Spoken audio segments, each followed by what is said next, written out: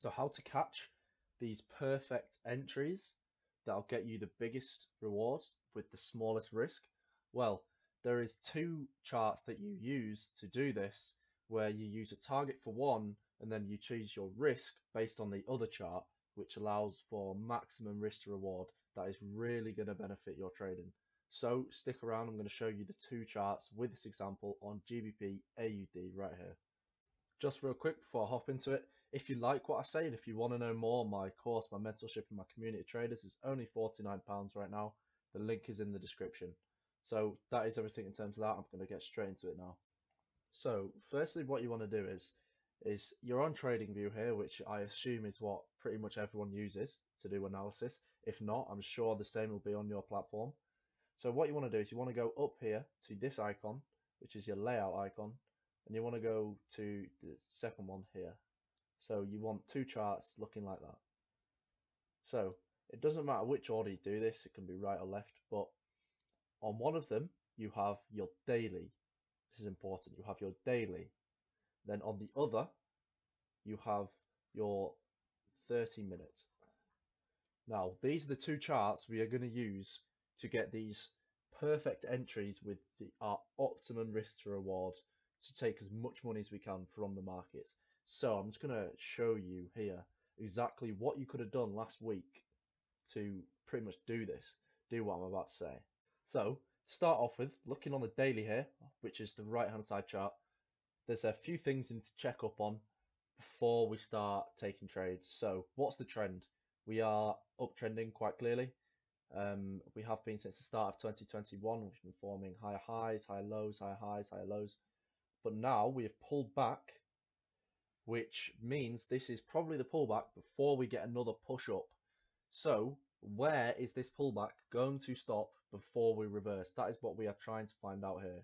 So to do that, we need to draw on our key zones, which is quite clear from this example. So here, 24th to the 25th of February, we had a support formed, which was also a higher low. So it's a clear point of interest for us. So we just draw our zone on there, this is a key zone where we are looking for support to be formed so we can push back up. Um, and we're looking to catch that move. If it's not there, then we are looking probably around here. I've got loads of videos on drawing zones, so just check them out if you want to. Um, so these are the zones we are expecting our reversals to happen on. So we are expecting a push up after we've tapped into one of these zones. So now in terms of targets, because we also use our targets, we use the higher time frame for our target. So we're using the daily here for our target. So if we look to the left, we see this area here was also a lower high, strong point formed, strong uh, support formed here. So it's obviously a clear zone. So I'm going to mark that one on there. So that is our target when we look for our buys initially. Obviously, for longer term, the targets would be all the way up at the highs up here. But just now, I'm going to show you this is you can still get a very good risk reward just off doing this. So, as I said, we look for a tap in there or a tap in there to buy up to this zone. So how are we going to know when this tap has occurred? Because if we're just watching the daily, we're not going to catch it in time.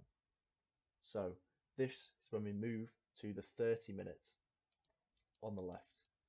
So zoom in a bit. Now, what is very important is that you come to the market at the appropriate time. I talk so much about sessions in the market. So we've got London, we've got New York, we've got Asian, the periods when volume is coming into the market. For me, I am active during London and during New York, which is the times of most volume. So at these times, I'm expecting a push up off these zones. This is when I'm expecting the move to come. So I'm going to be at the markets watching to get in my entry for this massive buy up that we're going to have to this zone, which as you can see on the 30 min is here. So that will be the target for buys. So next, I need my candlestick, which is a rejection candle. Um, in this video, I'm just talking briefly about all these things. So sessions, candlesticks, targets, higher time frames, low time frames. This is all brief. There is so much more to it. Um, I have videos on my channel, but the main depth is all on my course. Um, as I said, link in the description. But basically, what I'm going to be waiting for now is I'm going to be waiting for London session because at this point, it's coming towards like late Asian session. So I'm waiting for London session, which in GMT terms, we usually see volume between 7 a.m. to about 11 a.m. just before New York volume comes in. So I'm actively here waiting for a tap off this zone to push up. But how do I know we're going to reject this zone? Well, I look for a rejection candle. This can be either a candle that breaks through this zone, then pushes all the way back up, closes bullish up here, uh, leaving a wick below, signaling that we've rejected this zone, or a candle that taps in and we have a strong bullish close. Um, lots of people call it engulfing, but it just shows we have the buyers have entered the market and we've rejected this zone again. Because remember, we're reject on the daily here, we're rejecting this lower high here, and we're expecting a push to this zone. So I'm just going to let this play a little bit.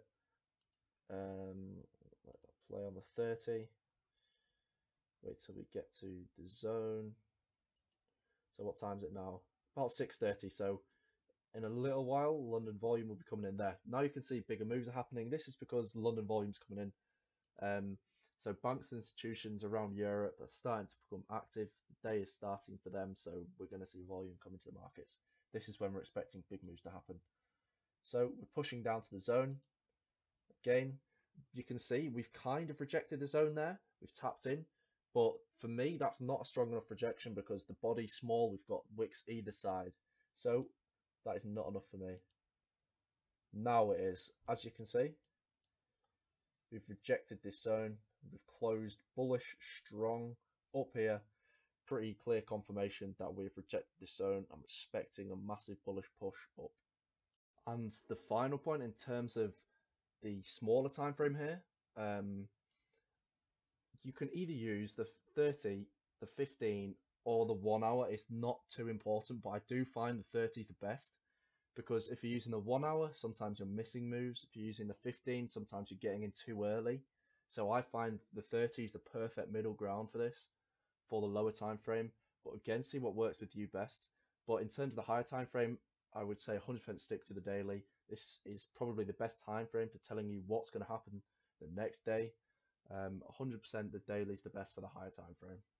Now the dual time frame analysis comes into play because I'm just going to line up an entry here. So I would enter on this candle um, and obviously my target will be this daily level all the way up there, about 130 pips away.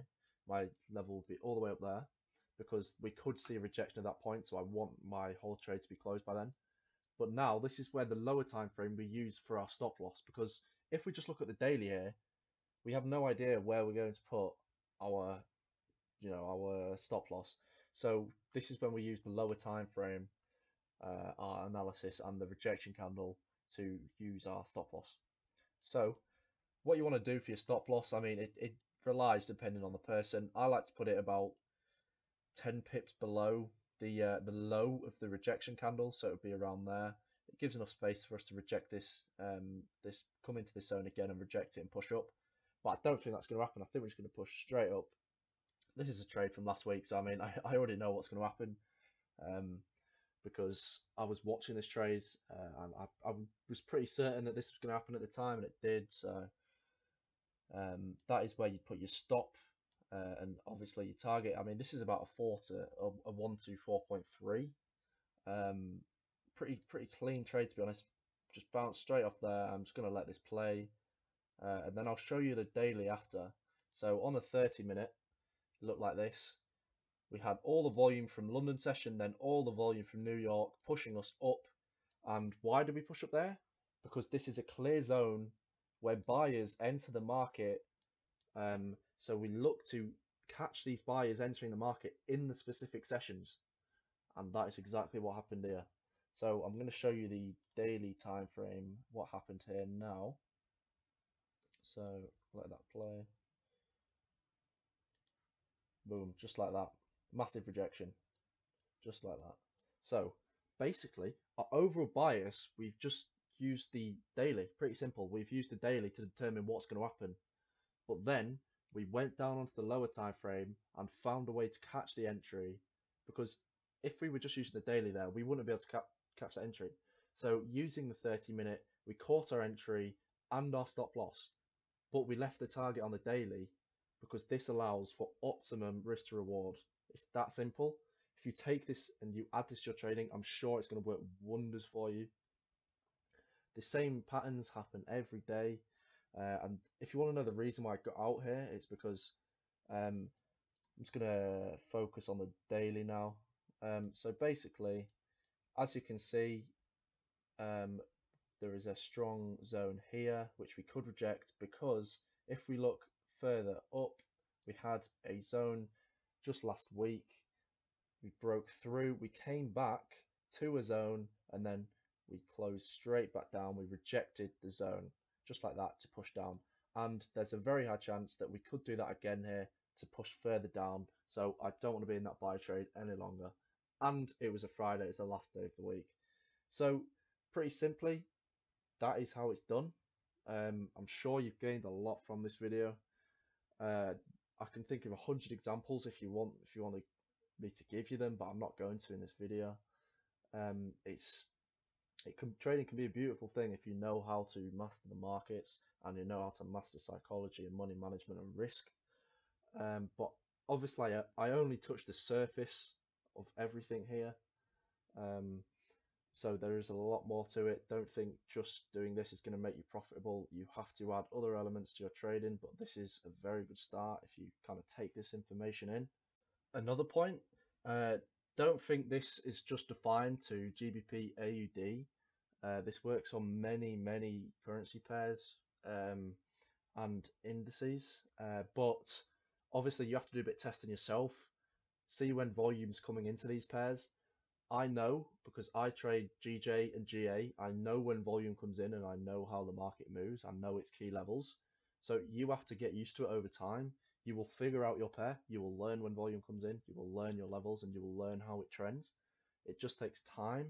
That's the main thing with trading. It takes time. As long as you don't give up, you will get there.